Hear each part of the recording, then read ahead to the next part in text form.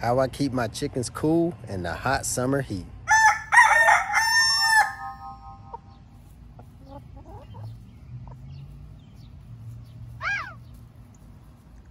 Good morning. How's everybody doing today?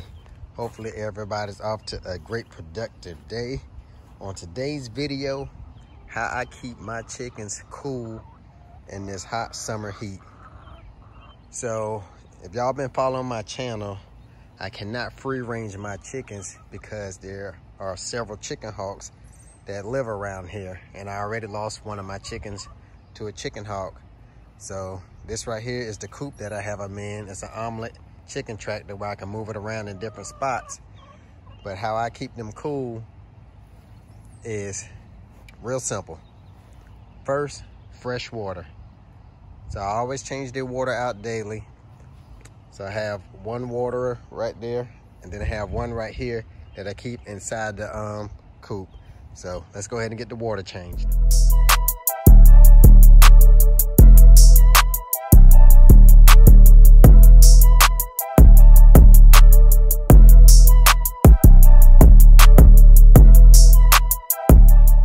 Okay, so the next step I do to keep my chickens cool is I always add ice to their water in the morning.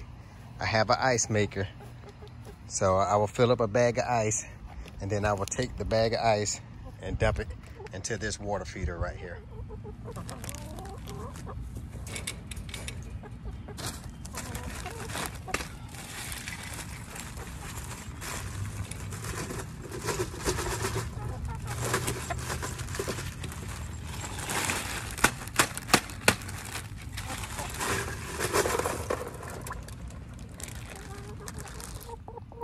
So throughout the day, that ice will melt down and it will help keep the water cooler for my chickens.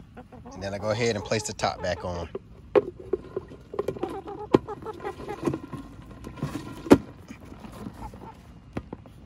Like so.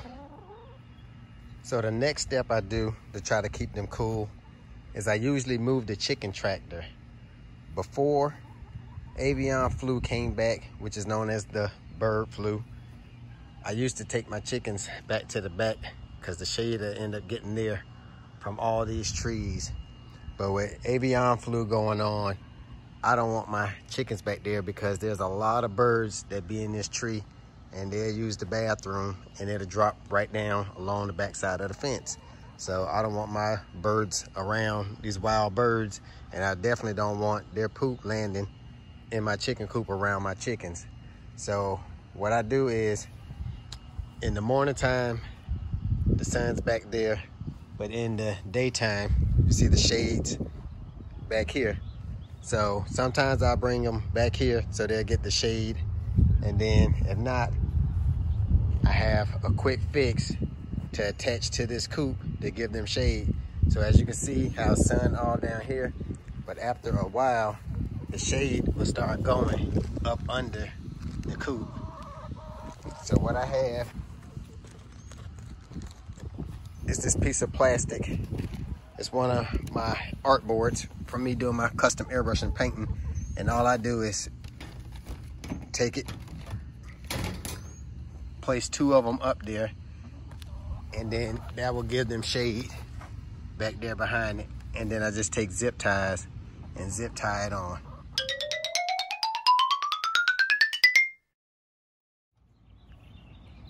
All right, so you see we have the panels up and you see it has created shade for them back here.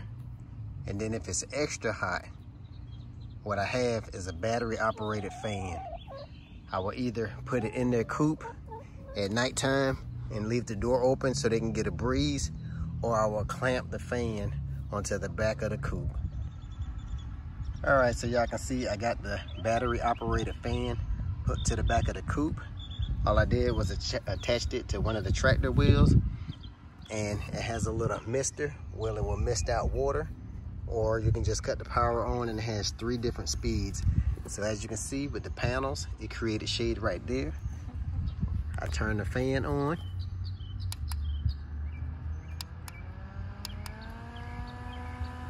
So not only do they have shade, they have a breeze coming through and then they have the ice water to keep them cool. So if y'all found this video helpful, please give it a thumbs up and consider subscribing to the channel. I try to drop content at least five days out of the week. But as always, thanks for watching. We'll catch you on the next one.